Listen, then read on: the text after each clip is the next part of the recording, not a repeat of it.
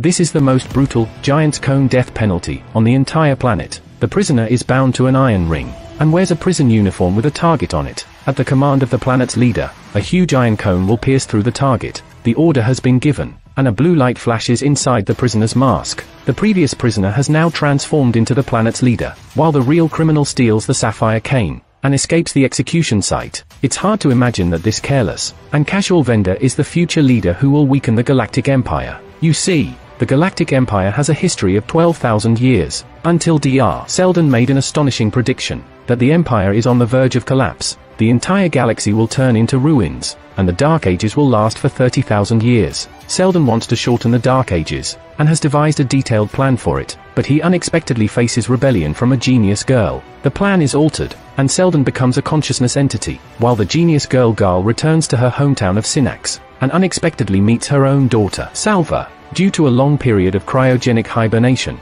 Gal appears younger than her daughter. Now the Empire is declining as Seldon predicted. However, the first foundation in the peripheral star systems continues to grow, and has already infiltrated the Empire's planets. But Emperor David lacks a sense of crisis, and not only indulges in pleasure, but also gets attacked by assassins. The AI woman, Mel, gets half of her head cut off, but David takes the opportunity to grab a brazier and counterattack. He easily defeats the assassin, but unexpectedly, the assassin has an accomplice. They even break through David's protective shield, and shoot him in the shoulder. Fortunately, the Emperor reacts quickly, and picks up a gun from the ground to kill the opponent. He engages in close combat with the assassin. It's a real physical fight. After all, David didn't even have time to put on his clothes. David slips on a bloodstain, and gets a chest wound due to a momentary lapse of attention. Mel acts in time to kill the assassin. Since the molecular blade was coated with a deadly poison, Mel injects an antidote into David's heart, saving his life. However, when treating injuries, David insists on not using anesthesia, because he is afraid of falling asleep.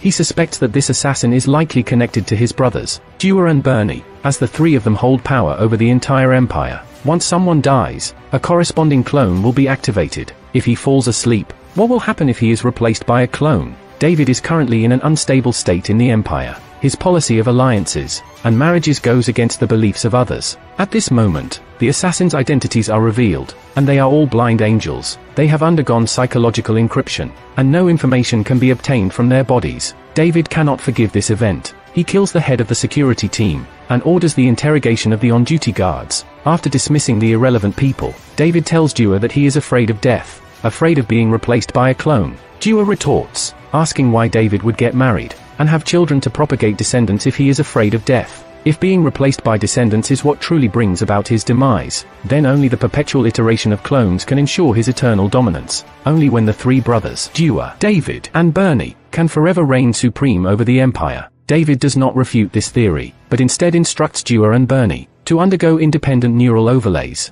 David wants to examine their memories to ensure that they were not involved in today's assassination attempt. David knows that reforms are difficult, and he has chosen Queen Sareth as his marriage partner. Bernie criticizes that this woman only ascended to the throne through clever planning, and suggests that she might kill David to seize power. David ignored the other's sarcasm and mockery. He is determined to push for reforms for a reason. Centuries ago, David I had his genes tampered with by a rebel army, resulting in subsequent clones gradually diverging from the original genetic source. The three of them have long been different from the original, so it's time to make some changes. The queen brought a gift of pure and pristine pigments, and David reciprocated with a Trantor model made of brass. The queen accepted the miniature version of the imperial capital, without expressing gratitude. It was evident that she had noticed the decline of the empire, and didn't miss any opportunity to taunt David. Just as the atmosphere grew increasingly tense, Mel interrupted their conversation, and delivered a message to the Emperor. They found the body of Commander, who was dispatched by David 12 to the outer star regions. His body had been floating in space for over a century, seemingly destroyed by a solar flare, resulting in the extinction of all life in the entire galaxy. Due to the Empire's focus on addressing the corruption within the dynasty at that time, a thorough investigation was not conducted. It wasn't until Mel watched the commander's pre-death footage, and learned that the solar flare was just an illusion, that the Anacreons never perished, but instead quietly stationed themselves in the outer star regions, and grew stronger, that David realized the seriousness of the situation. Meanwhile, something significant happened within the first foundation in the outer star regions. After a century, the vault opened once again, indicating the possible return of Seldon, and he will lead them to fight against the Empire. On the other side, Synnax was almost submerged by seawater. In the vast expanse of the sky, Only Gal and Salva, this mother and daughter remained. Apart from their blood ties, they hardly had any connection. However, blood ties were already magical enough. For instance, Gal had the ability to foresee the future, while her daughter could glimpse the past. Salva asked Gal why she didn't activate the Elementor, and she replied that they hadn't found the right tool yet. Upon hearing this, Salva tossed a coin. Moneta dice di sì. Gal knew she couldn't hide the truth, and confessed that she trapped Seldon inside, which is why she couldn't activate the Elementor freely. At this point, there is another question. Seldon's consciousness was supposed to be trapped within the vault, but according to Gal, she imprisoned the Doctor inside the Elementor, resulting in at least two instances of Doctor's consciousness. Gal doesn't trust Seldon's salvation plan, so she hesitates to open it. However, this time, under Salva's persuasion, she still opened the Elementor, which generated two lines, red and blue. The red nodes represent the first crisis she encountered, and as she progresses 138 years forward, the second node appears, followed by the third and fourth. Humanity is about to enter an unprecedented dark era. We were supposed to follow the blue line, but we have gradually deviated onto the red line. If we cannot resolve the crisis of the second node, everything prophesied by Seldon will come true. At this moment, the Doctor is inside the Elementor, which is a four-dimensional space. Even with Seldon's intelligence, it is challenging to find a solution. Suddenly, he recalls a childhood paper folding game,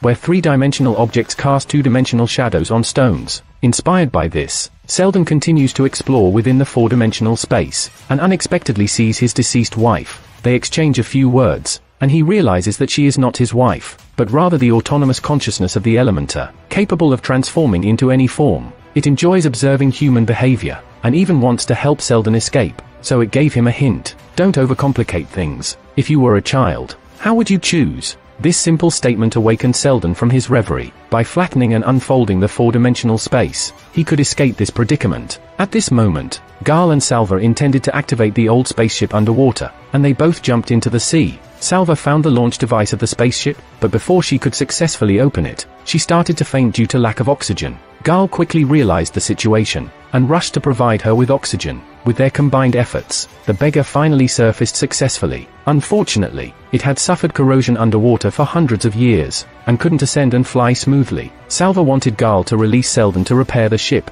but before they could take action, Seldon's consciousness emerged on its own. Although he deeply resents Gal's betrayal, but the sea is rough, now we need to repair the spaceship first, or else all three of them will be in trouble. Seldon easily identified the malfunction, but one stabilizer was jammed. It requires manual repair. Salva disregarded the danger and rushed out of the cabin to fix it. Fortunately, she successfully resolved the issue, but the sea was too turbulent. She couldn't return to the cabin in a short time. Salva instructed Gal to start the spaceship first, and she successfully returned to the cabin when the flight stabilized. Salva asked Seldon why he wanted to establish the second foundation. The reason is quite simple. Although the decline of the empire is inevitable, the generation of corruption from power is an eternal law. If we don't restrain the development of Terminus, the first foundation, it will soon become the second empire. So, regardless of the battle between Terminus and Trantor, whether it's a loss or a win, we must strangle it in the cradle. The second foundation is the tool to correct its development. His predictions about the future are based on mathematical algorithms.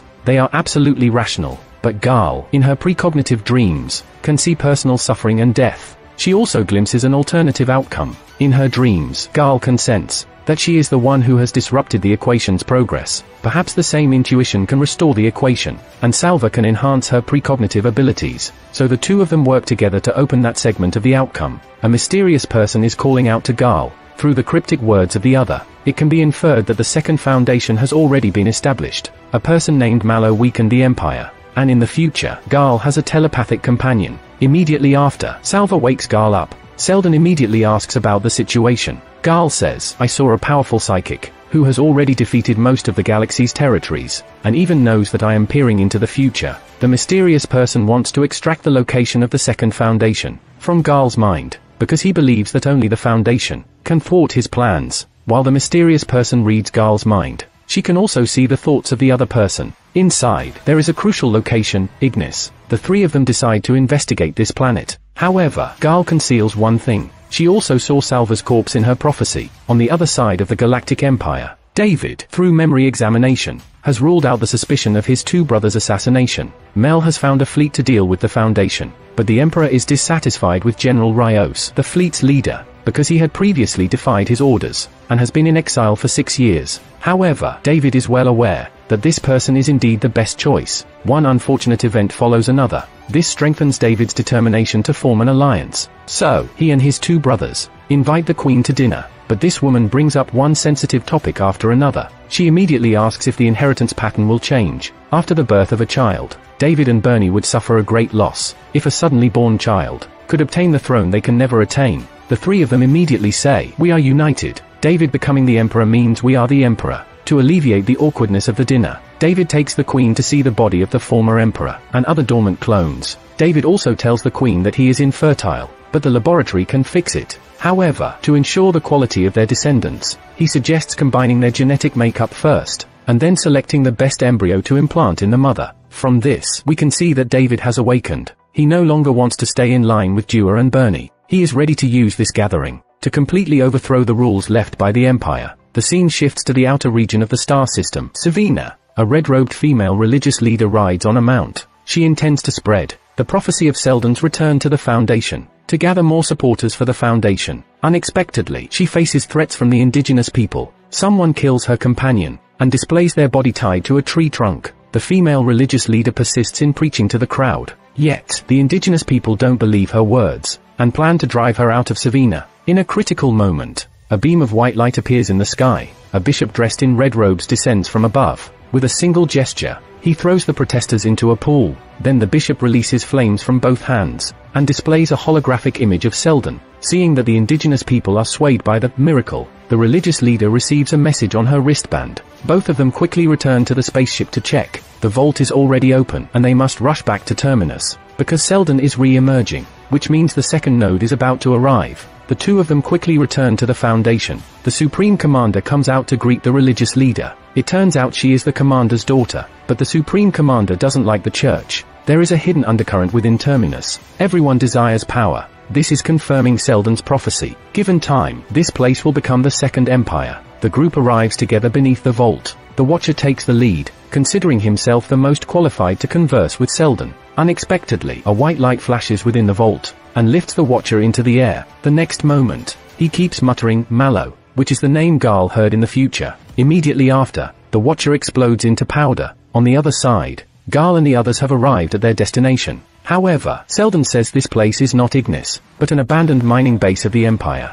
He secretly changed the route without informing the two, because Seldon senses that his original self is here. Garl agrees to give him only six hours, whether they find his original self or not. They will leave this place when the time is up. Salva leaves behind to guard the beggar. Garl and Seldon set out together. They enter a massive cave. Seldon is familiar with the pathways here. He confidently leads Garl forward. They open a hidden door on one side. Inside, there is a woman dressed in a deep blue gown. This person is Callie, Seldon's former teacher. Normally, she should have died hundreds of years ago. She holds a mysterious orb in her hands. Garl has many questions. The two of them play riddles in front of her. Seldon even asks Garl to leave first. And with that, he disappears behind the door with Callie. Garl can only return to the spaceship. She and Salva plan to leave this place. Unexpectedly, the ground sinks suddenly. The spaceship is momentarily exposed to the underground. Several spider-like giant machines appear. Salva immediately pilots the spaceship out of the ground, while the two mechanical monsters burrow back into the sand. It seems they were attracted by something.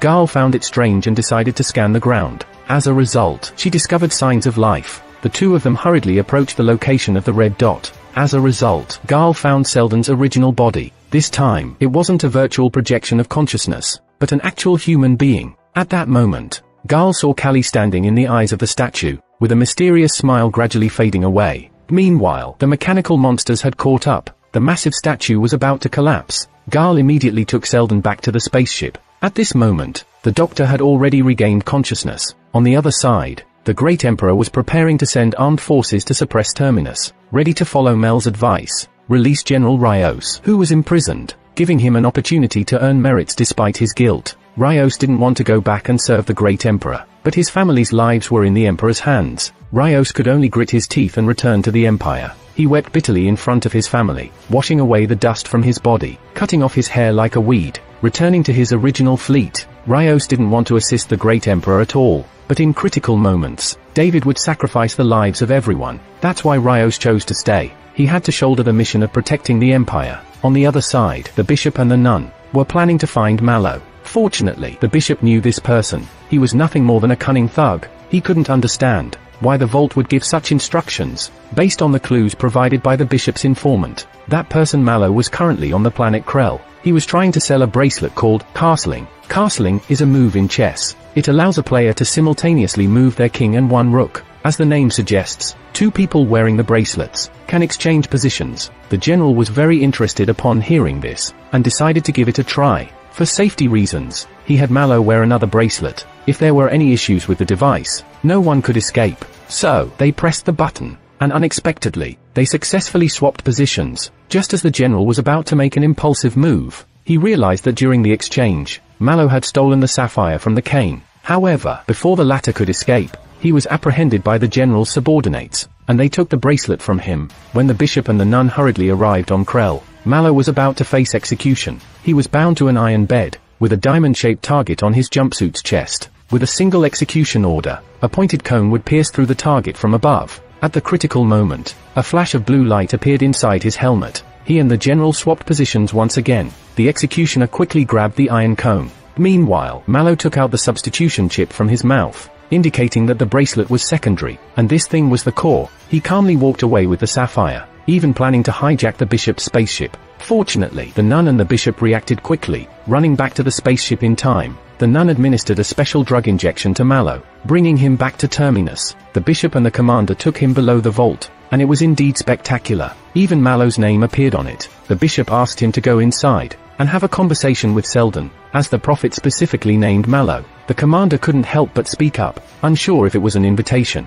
After speaking, he looked at the charred ground, which was the ashes of the Watcher. Upon hearing this, Mallow hesitated and didn't want to take the risk. However, he had no choice in the matter, as a beam of light sucked him in. The nun and others quickly followed suit. They entered a mysterious space, and suddenly Mallow rushed in and snatched the nun's water bottle. He claimed that he had been there for two days, but in reality it was only a matter of two minutes. Just as the four of them didn't know what to do, a melodious music rang out, and they saw a library. The table was filled with food, and Mallow immediately rushed over, and started eating voraciously. Shortly after, Seldon appeared in this place. The entire vault was his algorithm, and everything here was composed of molecules, all originating from Seldon. Even the food Mallow put into his mouth was a part of him. The three individuals from Terminus highly respected Seldon, and he also had tasks to assign to them. At this moment, the bishop noticed the Elementor on the table, and couldn't help but ask why it was there. Wasn't it Seldon who took the Elementor away a century ago? Seldon explained that the Elementor is a quantum computer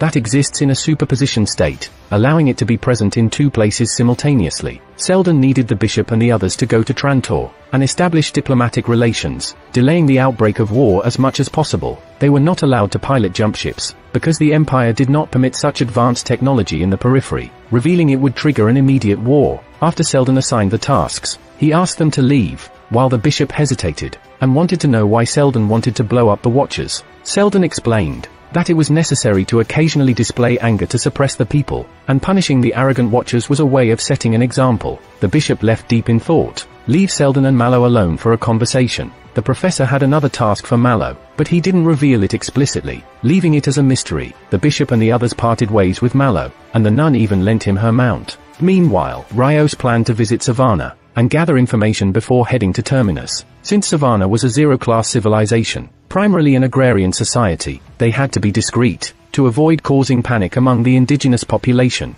Rios landed with his close friend member, Mustached Man. On the way, the two encountered a group of locals, and picked up the evacuation device dropped by the fleet. Rios and Mustached Man put down their weapons, expressing that they had no hostile intentions, and were willing to pay a hefty price to buy back the device. However, the indigenous people showed no respect, and spat in Mustached Man's face as soon as they approached. Seeing this, Rios threw a punch, and Mustached Man quickly subdued the indigenous person, threatening the others to return the device. They promised to release the captives once they had the item, but they underestimated the savagery of the locals. These people didn't care about the well-being of their comrades, and a major conflict was about to erupt. Rios had spent many years in prison, but his skills had not deteriorated at all. Even Mustached Man recognized this, and realized that Rios enjoyed violence. After Rios killed the group, a satisfied smile appeared on his face. Mustached Man had some reservations about this, and advised Rios to keep a calm mind, and not let violence dominate him. The two of them left with the evacuation device,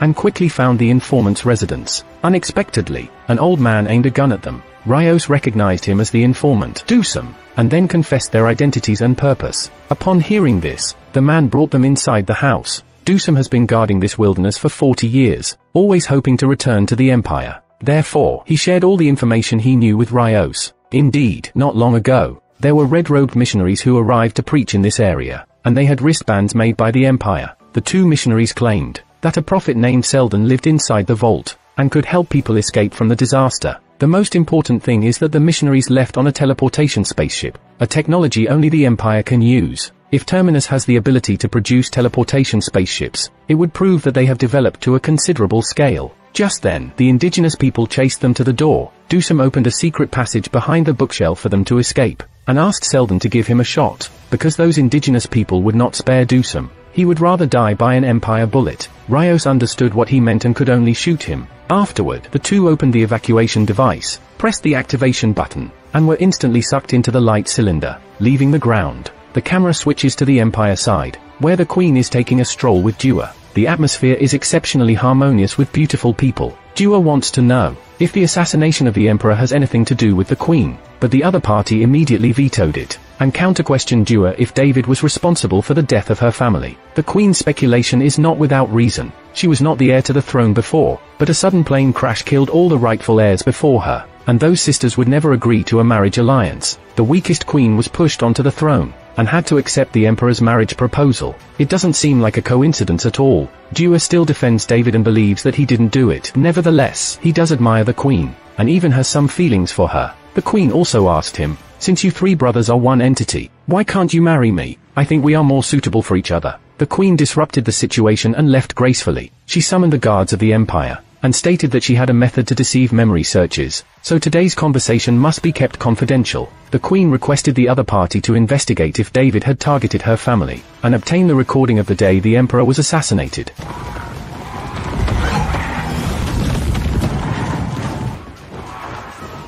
These two people placed their palms on the ice coffin, and the body inside was instantly activated. Io sono la memoria di Cleon I. Noi.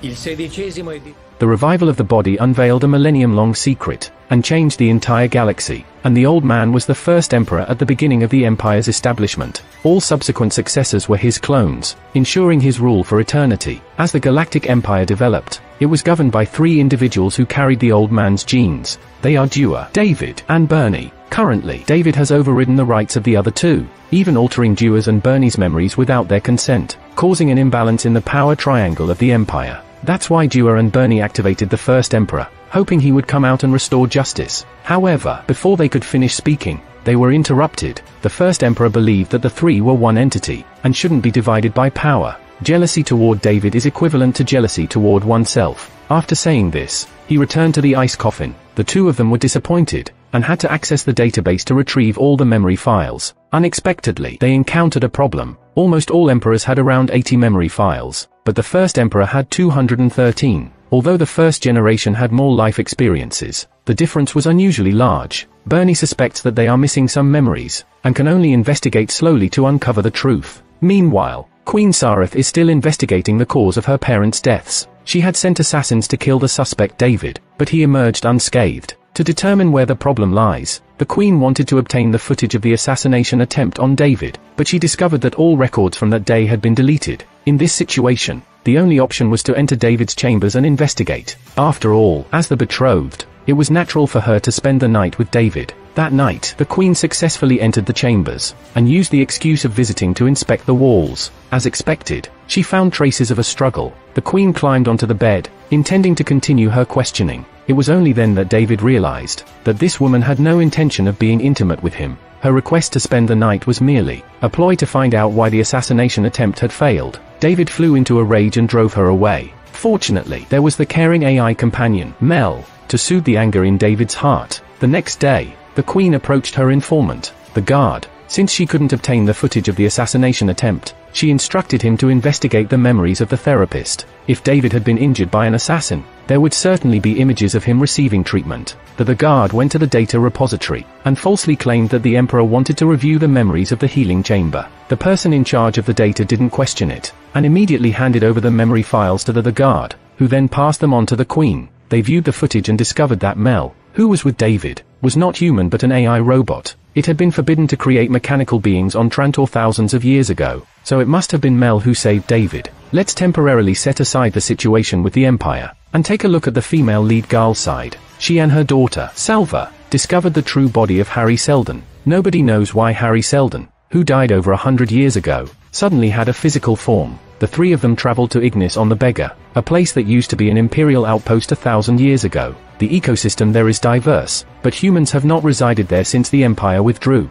However, Gal and her daughter heard a calling that led them to enter Ignis. Unexpectedly, as soon as the ship entered the atmosphere, it encountered a large number of negative ions, causing a system failure and reboot. The beggar's engines shut down, causing it to crash into the ground. Salva quickly extinguished the sparks in the cabin, and asked Gal and Seldon to stay behind and repair the ship. Salva would go on patrol in the vicinity, to see if there were any traces of humans. Shortly after Salva entered the forest, she spotted a suspicious figure dressed in black. She hid behind a large rock and prepared to ambush. Unexpectedly, the person in black removed his mask, revealing a familiar face, it was Salva's boyfriend, Hugo. But the problem was, that Salva had been in cryosleep for a hundred years, so logically Hugo should have died long ago. Therefore, she didn't let her guard down. Seeing the situation, Hugo had no choice, but to patiently explain that after Salva entered the cryosleep chamber, he no longer had any attachment to the world, so he chose to go into hibernation with her. Hugo pushed aside Salva's gun, and twirled her spinning around in place, both of them laughing and joking, before returning to the beggar.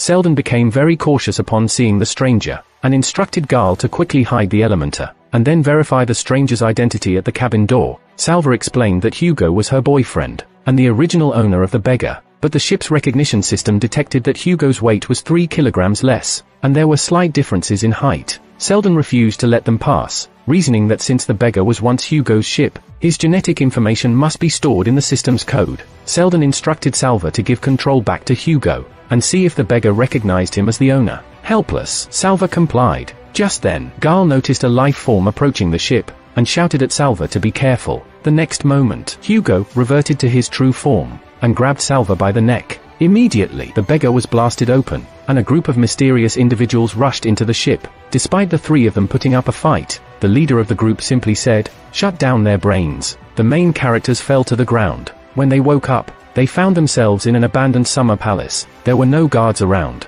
but strange sounds could be heard in the distance. The three of them followed the sounds and entered a cave, where they found a group of people surrounding a girl in white. She claimed to be the priestess of the Eternal Temple, and Seldon took a step forward to pay his respects. However, the girl already knew the backgrounds of the three individuals, and had someone bring them fresh food. It seemed that she meant no harm, but Seldon noticed that the girl had no shadow, and he immediately exposed her as a mere projection, demanding the true authority figure to reveal themselves. As expected, the girl disappeared, and the female leader then greeted everyone in person. She was a mind reader with the ability to hear thoughts, and everyone who came to this place was of the same kind. Only they could hear the summons of the female leader. The voices that Gal and Salva heard before were emitted by her. The female leader instructed the group to rest, and meet for a detailed discussion the next day. However, as soon as the main characters left, she set her sights on the Elementor. The female leader wanted to destroy the sacred artifact, and prevent the construction of the second foundation. The next day, Salva woke up early and, to some extent, had the ability to read minds, allowing her to sense the thoughts of the local people. Salva discovered that these people had been subjected to inhumane persecution due to their mind-reading abilities. It was the female leader who saved them, and brought them to Ignis for safety. Later, the three of them met with the female leader, and Seldon wasted no time in stating that Gal had precognitive abilities. Gal had seen a mysterious mind reader named Mule who would destroy everything in Ignis. The female leader didn't believe that anyone could predict the future, so she decided to test Gal. To her surprise, Gal indeed saw their homeland being destroyed. However, the female leader believed that the future Gal saw was filtered through Seldon's constructed perception, and was therefore subjective. She didn't think that the so-called future was certain to happen. The female leader was unwilling to help Seldon build the second foundation. She only wanted to protect her own children. Shortly after, the female leader had a private conversation with Gal, and revealed that her health was deteriorating. She wanted to entrust the people of Ignis to Gal, this way, Gal would have the ability to protect Salva, but the condition was that Seldon couldn't be involved. Gal was indeed convinced by the female leader, and immediately went to discuss it with Seldon. She wanted to stay and establish the second foundation here, leading all the mind readers, but Seldon couldn't interfere. Upon hearing this, Seldon became very angry. Seldon urged Gal to be more aware, as the female leader had the ability to manipulate anyone's thoughts. He advised Gal not to allow her to control him. The two of them argued and parted ways unhappily. Seldon instructed Salva to keep an eye on Gal, because only she knew the location of the Elementor, They must not let it fall into the hands of the female leader. Just as Salva found Gaal, they suddenly heard the sound of a spaceship starting. They rushed out to see Seldon piloting the beggar to leave. However, it was all a deception. In reality, the female leader had captured Seldon, and fabricated the illusion of him flying away. This way, the female leader could better control Gaal. She ordered her subordinates to drown Seldon, and as the water submerged his head, he looked back on his life. During Seldon's time as a university professor, he had the idea of creating the Elementor. At that time, there was only one woman named Yona who always accompanied Seldon. They shared everything and had compatible thoughts. With Yona's companionship, Seldon successfully created the prototype of the Elementor, and they even had an unborn daughter. Unexpectedly, the Empire quickly became interested in the Elementor. They demanded that Seldon continue his research on Trantor, which meant that the Elementor would fall into the hands of the Empire. Seldon refused to agree, no matter what they said. Little did he know, the Empire's people captured Yona, and claimed that Seldon could see his beloved again if he handed over the Elementor. Pretending to agree, Seldon led the Empire's messenger into the wilderness until there was no one around. Then, Seldon pulled out the necklace from his chest. There were originally two glowing dots on it, representing the heartbeats of Yona and their child. But this morning, the dots disappeared, which meant that the Empire was lying. They had already killed Yona, and now wanted to deceive Seldon to hand over the Elementor. Now, he was going to make the Empire's messenger pay the price. Seldon activated the sheepdog machine, and summoned a large group of terrifying moonlight sharp birds. Since his childhood, he had been testing these creatures with adults, and had long figured out the movement patterns of sharp birds. Seldon could stand among the flock of birds, safely avoiding all danger.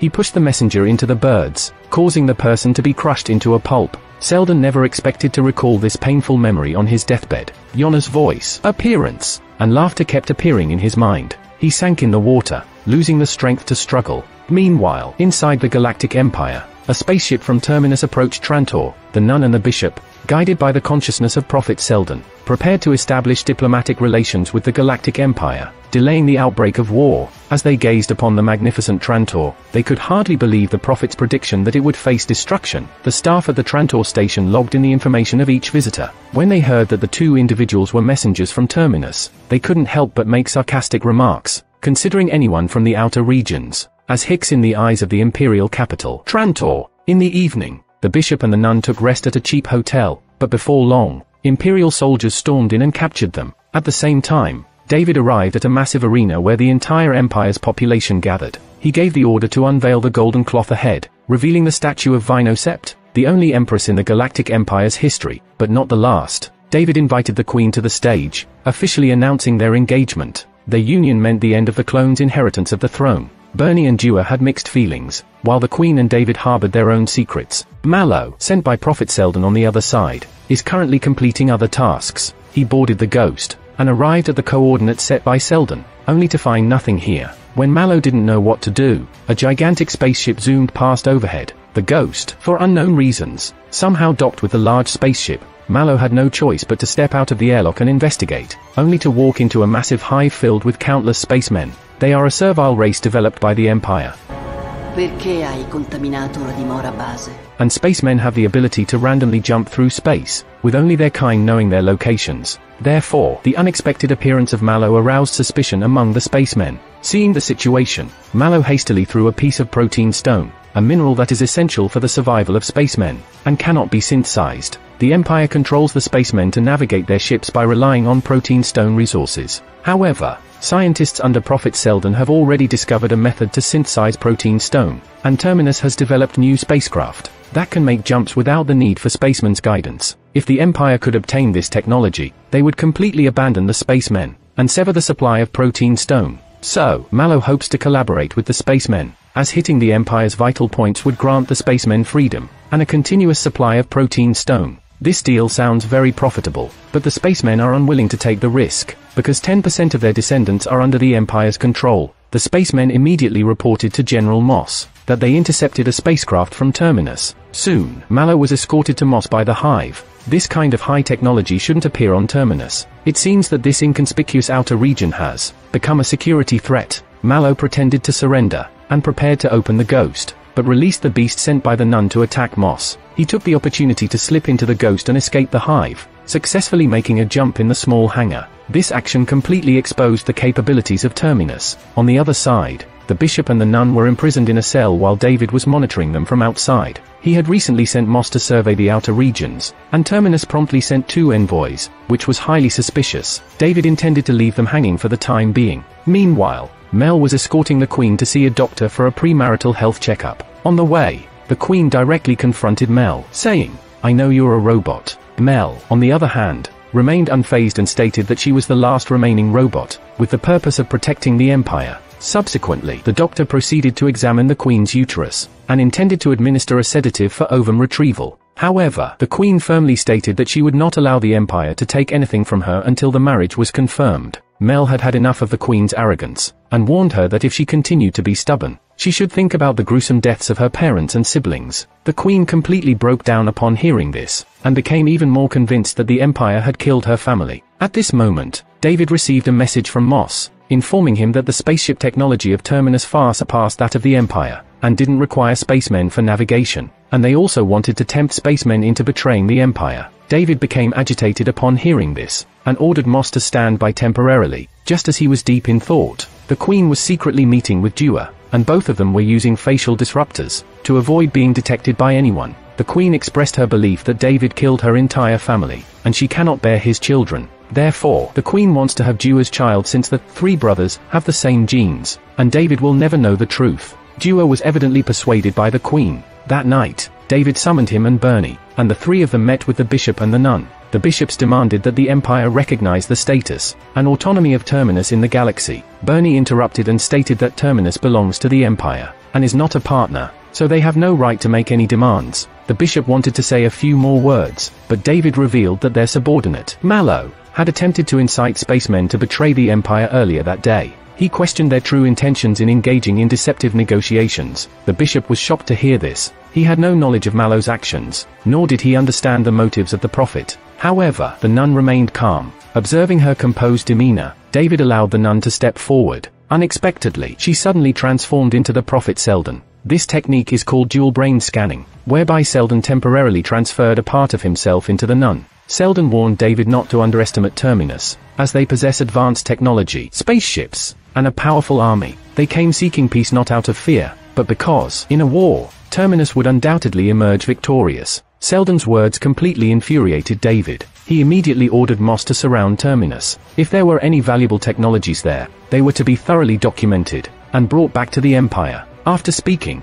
David ordered his subordinates to separate Seldon. The nun collapsed to the ground, and David stepped forward to help the girl up. He didn't forget to provoke the bishop, saying, Look at the prophet you follow. He's just a bastard who manipulates the believers. In fact, this aligns with Seldon's original purpose. As mentioned in previous episodes, the generation of corruption from power is an eternal law. If Terminus is not restrained, it will quickly become the Second Empire. That's why Seldon is preparing to build the Second Foundation, and provoking a war between Terminus and Trantor is also part of his plan. The scene shifts back to Ignis. Salva really thought that Seldon had left, so she also wanted to steal a spacecraft and escape, but Gaal was determined to stay. Their opinions diverged. During lunchtime, Gaal was constantly thinking about the mule. The telepaths around her heard her thoughts, so they asked Gaal who the mule really is. Gaal explained to everyone that the mule is a conqueror. The existence of telepaths is a threat to him. So, 152 years later, the mule will come to Ignis, and attempt to harm all telepaths. Seldon, a long time ago, was able to predict the future through mathematical algorithms. His calculations were nearly perfect, resembling magic. Later, Seldon discovered that telepaths could disrupt his calculations. Gaal, a telepath deeply fascinated by mathematics, admired him, and went to the galaxy to collaborate with Seldon. The two of them immersed themselves in intense calculations. They arrived at the prophecy of the imminent collapse of the Empire. Gaal believed that the existence of telepaths was the key to turning the tide. They need foresight and planning, to resist the mule or the arrival of the end times. Just when Gaal was getting passionate, Salva quietly stayed by the coast. Earlier she noticed something strange with the fishing boat. When she went to check, she found that someone had deliberately cleared the fishing data. There must be something fishy about it. Late at night, she took the opportunity while everyone was asleep. Quietly, she boarded the fishing boat and set off to sea. She wanted to find out where it had been. However, she discovered Seldon in the water. The next moment, the female leader appeared. And controlled Salva, causing her to sink into the water. Gaal quickly realized that her daughter was missing. She ran to confront the female leader, who didn't bother pretending anymore. Not only did she refuse to let Gaal see Salva, but she also revealed Seldon's death. Gaal wanted to resist but was powerless. This female leader had extraordinary abilities, and could almost control anyone's thoughts. She imprisoned Gaal in a special jail, that could confine both the body and the mind. Salva was also locked in a similar place. To escape, they couldn't use their magical abilities, but had to rely on their minds and mathematics. Salva used the Elementor to find the Prophet Seldon. Before Salva could explain her purpose, the Prophet Seldon had a brainstorm. It was the first time he knew that the Elementor could open a quantum channel to enter the vault. The Prophet knew he was just a consciousness copy, but he couldn't figure out why Seldon concealed such important information before his death. Could he not be the only copy? The Prophet Seldon immediately deduced the purpose of the original. His existence was meant to inspire Terminus. Seldon had also created other consciousness copies, presumably preparing to establish the second foundation, and conducting a control experiment. He and Terminus were just an experimental group.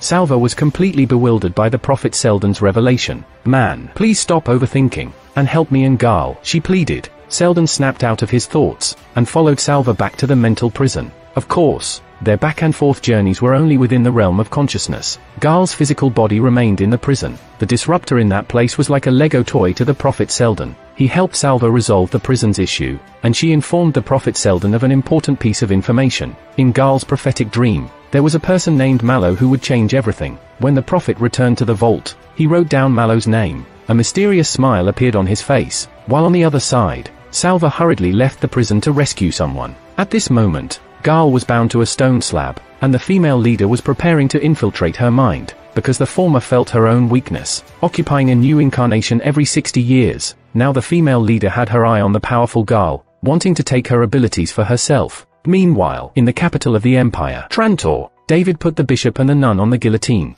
This scene was simultaneously transmitted to Terminus. The supreme commander was extremely angry, because the nun was his own daughter. Only David, playing with collar of Typhon in his hand, this device could instantly sever a person's head. He put the collar on the nun's head, and the next second, the ghost ship instantly teleported to the scene. Mallow picked up the camera, signaling that the beheading show had come to an end. At this moment, the scene that he broke into in Trantor, had already spread throughout the interstellar space. This meant that Terminus had declared war on the Empire. Although the commander was speechless, there was nothing left but to go to war. Trantor's guillotine was already in chaos. Dua didn't care about anything else, and quickly protected the Queen. Little did he know that this scene was seen by the Queen's confidant, and David's halo was damaged by the ship's pulse. He pushed aside Mel, who was protecting him, looking around in the ruins. At this time, Mallow found the nun, while the bishop fell into the hands of imperial soldiers. Suddenly, the nun's mount, Becky, rushed into the battlefield, directly running towards David. It forced the emperor to a corner,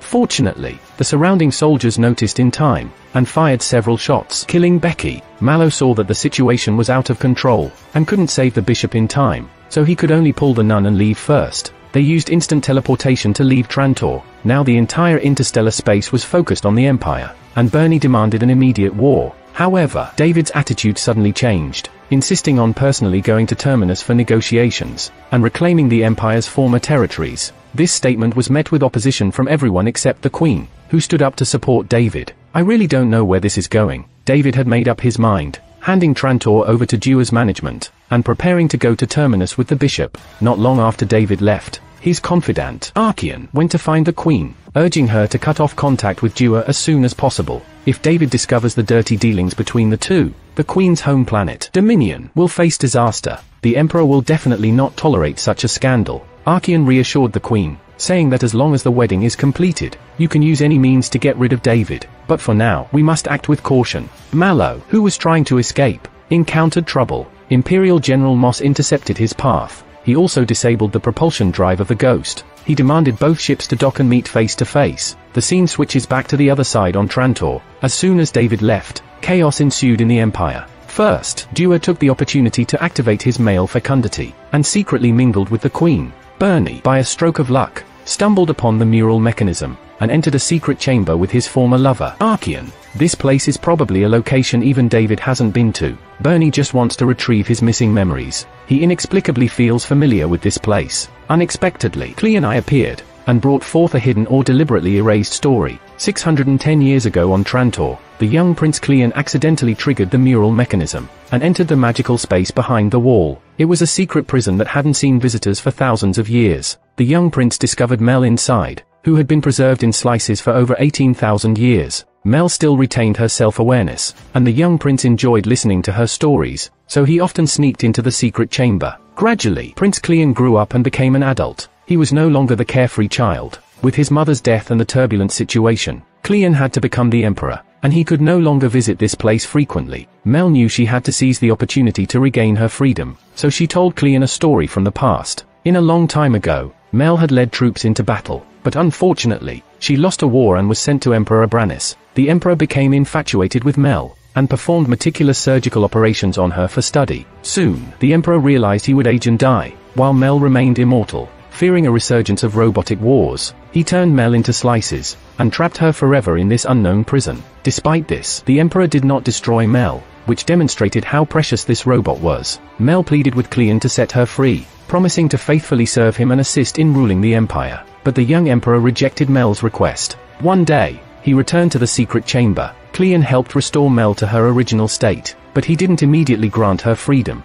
He resumed his childhood habit, of coming back to listen to Mel's stories. This relationship lasted for a long time, until Cleon became an old man. Only then did he let go of his guard and release Mel. At that moment, the robot could have snapped Cleon's neck, but she hesitated, and that hesitation forever missed the opportunity. Cleon implanted a device inside her, that allowed Mel to disregard any robot laws, and harm humans at will, but she could never disobey Cleon's commands. How could this be called freedom? A moment of softness turned Mel into an eternal slave, because Cleon invented clone humans, ensuring the hereditary rule of the Empire. However, he also granted Mel significant power. Cleon would erase the memory of the clones, so Mel could shape their choices as she pleased, shape everything about the clones. The lack of this memory led to the three David brothers not knowing how Mel came to be. Since their birth, this robot advisor has been guarding the Empire, even though it was not her intention. Bernie understood after hearing this, the three brothers and the previous clones, are just puppets sitting on the throne, in fact, since the death of the first, the control of the Empire has been in Mel's hands. Bernie and Archeon want to leave this cursed place, but they were locked inside by the first Emperor.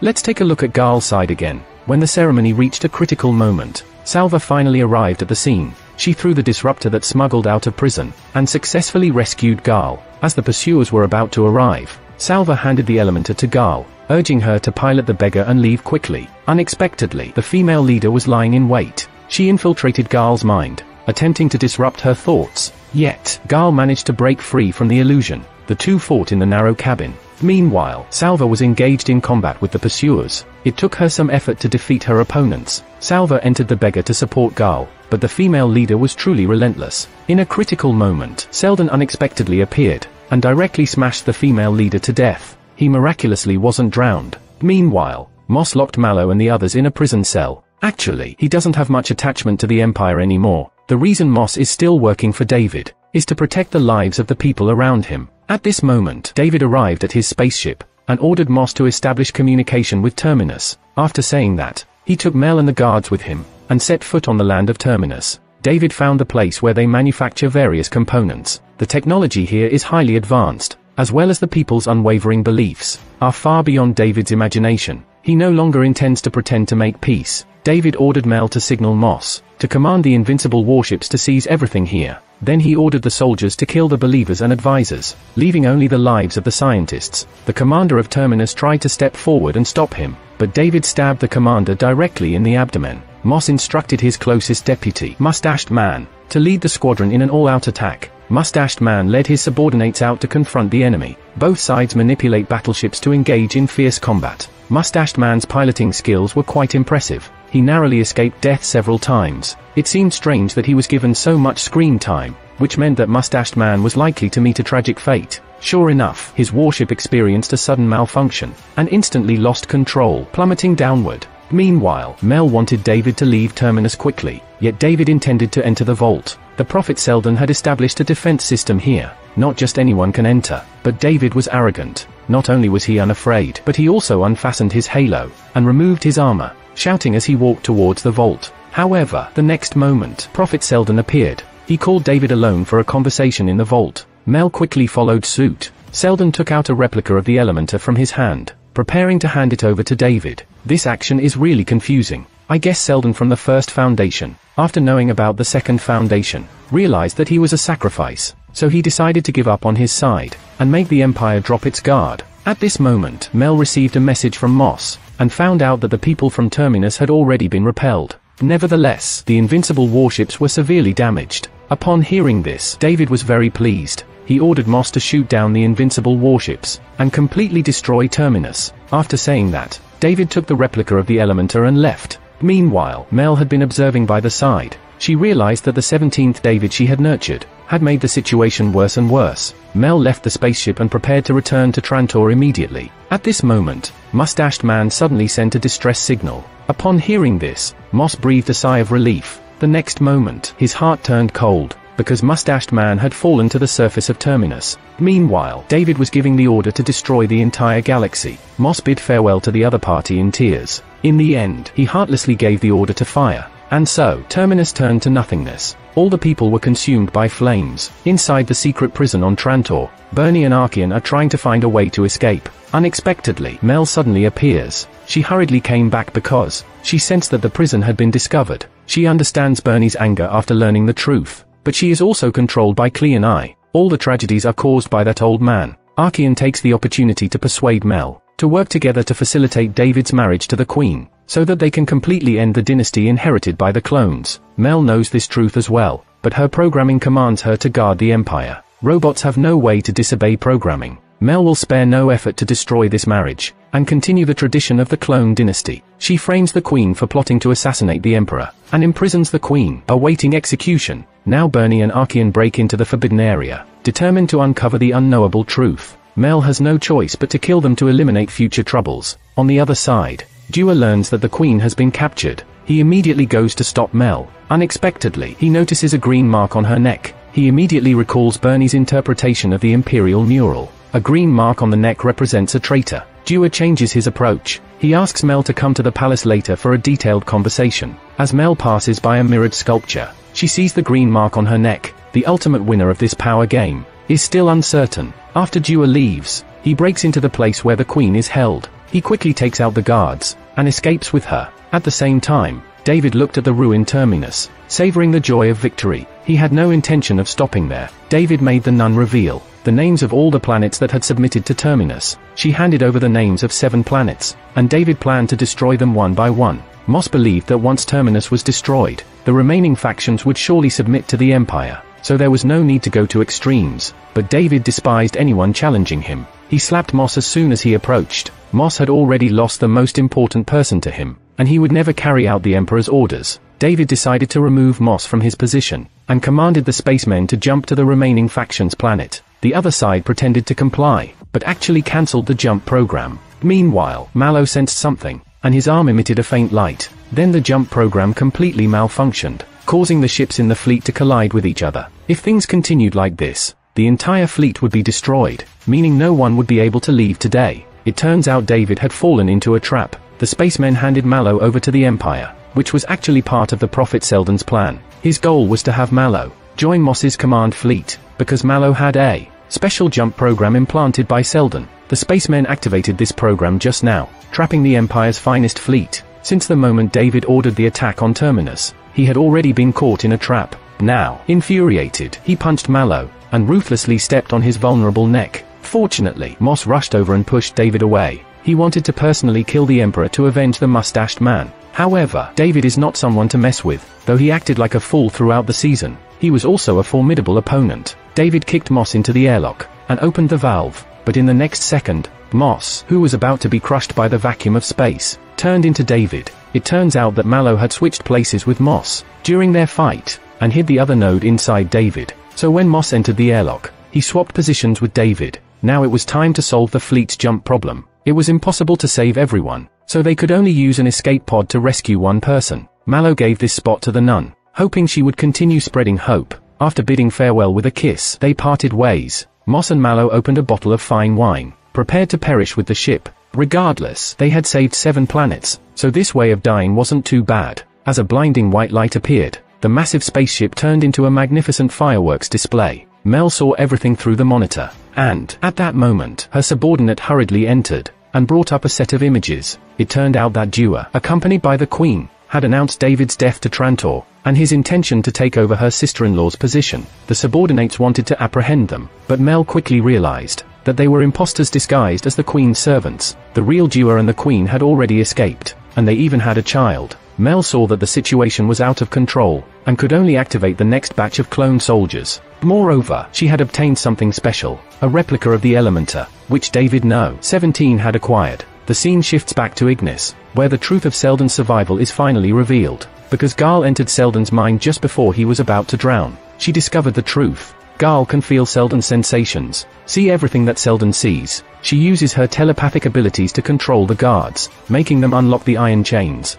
Gaal manipulates Seldon's body to knock out the guard, drowns him in the river, and uses his corpse as a substitute for Seldon, fooling everyone's eyes. At this point, the story feels more like fantasy than science fiction. Gaal can share a brain with Seldon, and the female leader didn't notice the flaw, because Gaal silently recited prime numbers throughout the process, creating a numerical barrier, protecting her thoughts from being detected. At this moment, the beggar detected the approach of a life form. All the telepaths from Ignis gathered outside the spaceship. However, they didn't have any malicious intent. In fact, the female leader had been using her telepathic abilities, controlling everyone's thoughts. Now that the main characters killed her, they inadvertently liberated everyone's minds and sense of self. Seldon, upon hearing this, opened the cabin door. The telepaths kneeled down, expressing their gratitude. Just when everyone thought the crisis was over, an unexpected event occurred. The female leader had hidden a portion of her thoughts inside a young boy, concealing a part of her mind. She controlled him to pick up a gun and aim it at Gaal. At the critical moment, Salva threw a flying knife towards the boy, and used her body to block the bullet. Salva comforted Gaal not to be sad. She would die today, proving that the future can be changed. They still have a chance to get it back on the right track. After Salva finished speaking, she lost her breath. Gaal personally cremated her daughter. Afterwards, Seldon and she entered cryogenic sleep together, preparing to travel 150 years into the future, arriving at the node where they would meet the mule to see if Salva's death caused any disruptions. On the other side, the nun is still floating in space, with the oxygen levels about to run out. She unexpectedly flew into the vault. The bishop and other deceased people were hiding here. Even though Terminus was destroyed, Seldon saved all the residents. It seems we were wrong to blame the old man in the previous episodes. He didn't treat human lives as pawns. In the blink of an eye, 152 years have passed. The mule woke up from his anguish. He dreamt of the telepathic woman again, and he had a premonition that Gaal was coming. The story of this season ends here. This season is truly whimsical. The screenwriters wrote it whatever they wanted, regardless of the foreshadowing or logic. Every time I open a new episode, my mood is always, I want to see how you're going to write it, but overall, it's worth watching.